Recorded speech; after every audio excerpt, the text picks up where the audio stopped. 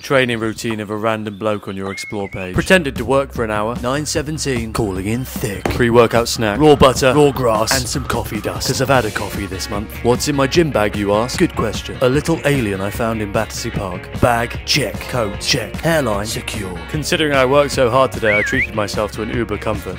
Five stars for Mary. Here's an entirely unique transition. Ooh. Lovely. Let's warm up. Shadowboxing in the corner on my own to make sure everyone knows I am him. Foam rolling is both great for flexibility and also to stare at strangers in the gym. They probably think Goggins is a search engine. When it comes to using a cable machine, any hole is not the goal. Last hole, best hole. Come on. Hi. You've got this. He's right. Remember what you heard on that podcast. If you want to go fast, go alone. If you want to go far, go together. Together, we move. 1% better and made a friend. What's your excuse? And that's a